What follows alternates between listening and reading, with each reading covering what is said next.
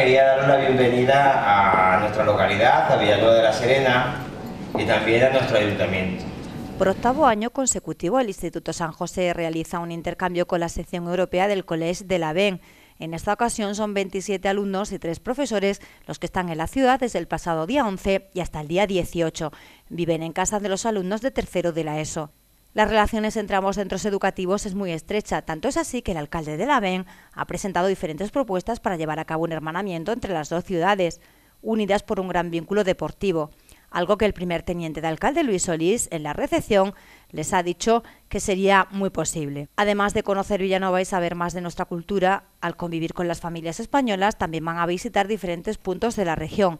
Mérida, Cáceres, Trujillo y Los Barruecos son algunos lugares que visitarán. Este año, además, se han introducido algunas novedades, como es la realización este lunes, después de la recepción en el ayuntamiento, de un taller concurso gastronómico, Top Chef Serón, en la Universidad Popular. Han tenido que elaborar una tortilla de patatas y además el equipo que mejor lo haya hecho va a recibir un premio.